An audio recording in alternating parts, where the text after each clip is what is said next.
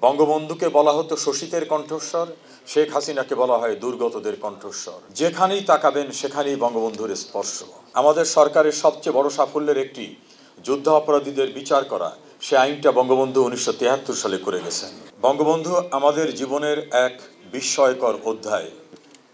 ব্যক্তি বঙ্গবন্ধু পরিণত হয়েছিলেন একটি আদর্শে, বঙ্গবন্ধু পরিণত হয়েছিলেন একটি বিশ্বাসে, একটি দর্শনে এবং বাঙালি জাতিসহ বিশ্বের নির্যাতিত, নিষ্পেষিত, নিপীড়িত মানুষের পথ চলার পাথেয় হিসাবে বঙ্গবন্ধু একটা প্রতিষ্ঠানে পরিণত হয়েছিলেন। সে কারণে বঙ্গবন্ধুর শারীরিক প্রস্থান মানেই সব কিছু শেষ নয়। ব্যারিস্টার মৌদুদ আহমেদ তার বইয়ে লিখছেন, আমি কোট করছি, শেখ মুজিবের মৃত্যুর মধ্য থেকে শেখ মুজিব বিনাশ হয় না, বরং শেখ মুজিবের অধ্যায় অনন্তকাল ধরে টিকে থাকবে। বঙ্গবন্ধু তেমনই একটি অধ্যায় আমাদের জন্য, বঙ্গবন্ধু তেমন একটি বিশ্বাস, তেমন একটি দর্শন আমাদের জন্য।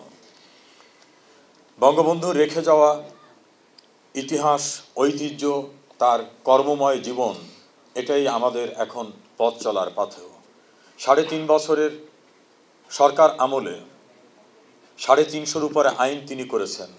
এমন কোনো জায়গা নেই যে জায়গায় বঙ্গবন্ধুকে খুঁজে পাওয়া যাবে না। আমরা সমুদ্র সীমা বিজয় করলাম। সমুদ্র আইনের ভিত্তিমূলটা বঙ্গবন্ধু আইন তৈরি করে গেছিলেন। আমরা বঙ্গবন্ধু স্যাটেলাইট উৎক্ষেপণ করেছি, সেটাও বঙ্গবন্ধু শুরু করে গেছিলেন। আমাদের সরকারের সবচেয়ে বড় সাফল্যের একটি যুদ্ধ অপরাধীদের বিচার করা, সে আইনটা বঙ্গবন্ধু উনিশশো তিয়াত্তর সালে করে গেছেন। যেখানেই তাকাবেন, সেখানেই বঙ্গবন্ধুর স্পর্শ।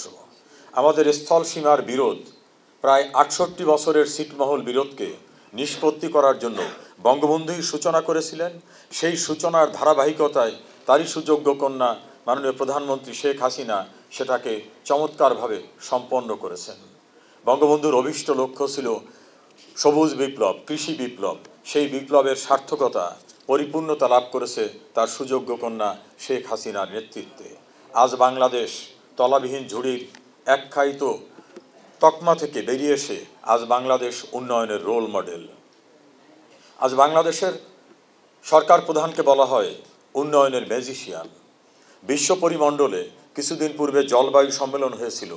সেখানে প্রায় একশো দুইটি দেশের রাষ্ট্র এবং সরকার প্রতিনিধিরা অংশগ্রহণ করেন। সেখানে বাংলাদেশের প্রধানমন্ত্রীকে বিবিসির ভাষ্যে বলা হয়েছে, তিনি দুর্গতদের কণ্ঠস্বর। বঙ্গবন্ধুকে বলা হতো শোষিতের কণ্ঠস্বর শেখ হাসিনাকে বলা হয় দুর্গতদের কণ্ঠস্বর।